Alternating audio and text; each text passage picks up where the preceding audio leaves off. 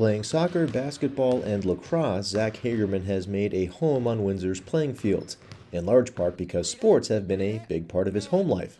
His father was his first basketball coach, and his older sisters both went on to compete in college. It was just kind of like a normal like thing in our family and whenever there's not sports going on it's just kind of like a weird like space of like emptiness. It's just kind of strange. Now it's Zack's turn to be the big man on campus, literally. Zack's a, uh, a big body, uh, you know, uh, rebounder. Uh, he runs the floor really, really well. And, uh, you know, I, I, think that his presence underneath the basket uh, kind of deters a lot for opposing uh, offenses. I'm definitely more of an old school, old school post guy. Love to just stay in the paint, do as much damage as I can down there.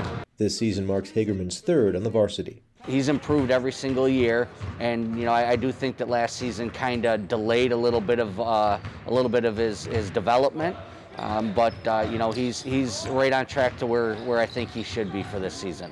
Just from like playing over the summer and doing extra things, just to like help improve my game, like whether that's with the school stuff or out of school stuff.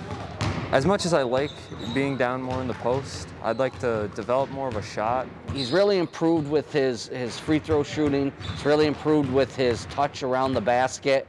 And uh, you know, again, defensively, he's he's really he's really come a long way since his sophomore season. While he's known for rebounding on the court, Hagerman hands out assists off the court, a trait that is influencing his career choice. I plan on pursuing uh, psychology and like going more of like a therapist route. I've just helped like a lot of people that I know like through things, like through problems and stuff, and it just kind of sparked my interest. And taking the class this year, I just like it a lot.